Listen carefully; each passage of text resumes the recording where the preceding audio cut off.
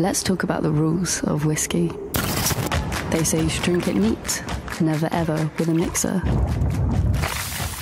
You're only allowed a splash of water, or if you must, a single cube of ice.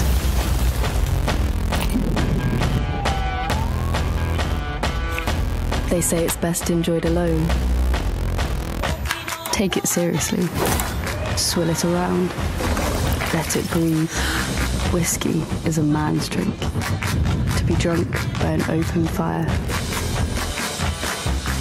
Wait until it's old. Wait until you're old. And when it comes to whiskey, it should be drunk in silence. But you know what they say about rules. Make your own rules. New Clubman from Haig Club.